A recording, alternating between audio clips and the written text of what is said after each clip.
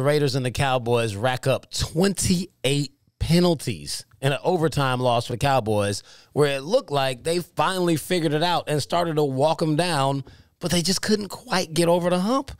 So, I mean, are you concerned with Dallas moving forward? I have to be. I absolutely have to be. Um, you know, Dallas right now is losers of three of their last four. Uh, the fact that they were penalized for a franchise record, and, and, I know this game had give and take with a lot of the flags, but what happened happened, and Dallas uh, played sloppy football in this past game.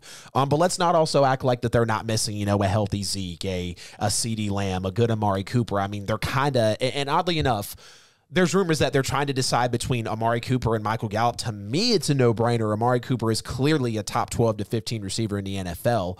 Um, and the fact that Michael Gallup, you know, he's not always been there for me through the thick and thin ever since Amari Cooper shown up. Yeah, he's been you know, uh, uh, he can be a thousand yard guy. But Amari Cooper and CeeDee Lamb are the dudes that really ride and die with that offense. Um, yeah. And they're not there next to Ezekiel Elliott. And, you know, Kellen Moore is really making this offense look pedestrian right now, um, boring up the middle run play, plays. You've got cookie cutter passes on the inside and out. And, you know, Dallas has always been credited. Well, not always been credited, but this season they've not been just throwing you their average stuff. They've been getting creative. They've been, been you know, been able to move Dak out of the pocket. And uh, the fact that Dak is playing playing his best football off of an injury is clearly a testament to the coaching. Um, but the fact that they're, you know, they were running the ball 60% of the time on first down before the bye.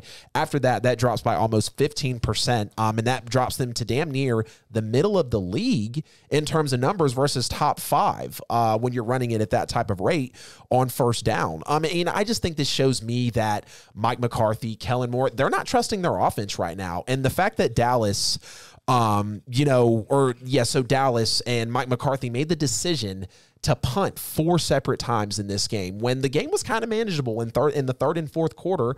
Um, yeah, you had a fourth and seven, a fourth and three, but we've seen Dallas be aggressive like this. Don't be conservative and expect to beat a Raiders team that's going to be looking for a W any day of the week. Uh, you talk about slow starts all year with this Cowboy team. Um, you know, weeks one through eight, their second half point differential was plus 34.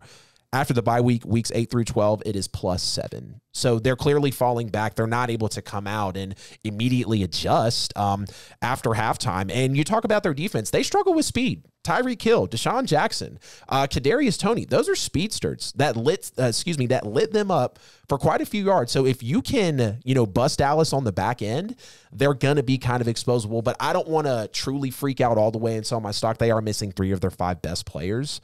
Um, but it is cause for concern. I mean, this is what happens in December. Can you stay healthy? Can you face adversity? Uh, can you win games at all costs? That's a question right now for Dallas. I mean, Dallas is showing us that they're a football team that has to be healthy for one, and two, the offense has to be clicking. Yep. Their defense has been able to feast on teams in the first half of the season because they were taking leads early. So they were taking the run element out of it, forcing teams to pass. Defense got a lot easier. They were pressing the issue, forcing turnovers. I mean, have we said Trevon Diggs' name in what, like six weeks? Right. You caught it. He was going to get on an island. Nobody's throwing his way. He was asked, "Are you bothered by less picks?" No, it's it's not about me. It's about the team. And that was great to hear, of course, from arguably the league's best corner right now. Yeah, I mean, they, I don't think anyone's thrown the ball at him since he got that pick six in New England. Yep. I don't think he's gotten any picks since then. Right. But he's, isn't he still at seven? He had seven through six weeks, and he's still at seven mm, through 12 so. weeks. People stopped throwing the ball at him, but moreover, people started running on them, throwing to the other side. Teams are not down anymore, so their game plans are different, and they're not forcing the issue. They were feasting off of the offense. If Dak's not putting up points, then now they're not winning like that. But in another, I'm gonna have to give Skip Bayless credit for this stat because he's a super Cowboys guy. Jeez. Since Dak Prescott has been a Cowboy, they are 29 and 0 when they run the ball more times than they pass it. Why are they throwing so much?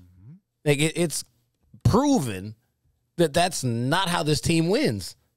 47 passes for Dak and only 20 rush attempts, and one of them were Dak. It's like, man, give the ball to Pollard and, and Zeke. Like, you have great running backs. Run the football. Yep. McCarthy but, brought into the spotlight again. Same reason he was under the spotlight in Green Bay for bad coaching through his tenure. It's it's not bad coaching, but it's getting to that point if it continues, obviously, and that's not something Dallas needs with the type of hype they have this year. Yeah, I mean it's it's sad, really. They have a a Super Bowl contending roster, and we've seen them on bigger stages look great. Yep. And now they're just folding. Yep. It's like they can't sustain for a whole season. So I mean, I don't know what they're gonna do. Like right. I'm interested to see what they look like tomorrow night. Like they're playing a Saints team that's reeling, don't really have a quarterback. So like the expectations are sky high. Like yep. you, you can't stumble your way through this game. Nope.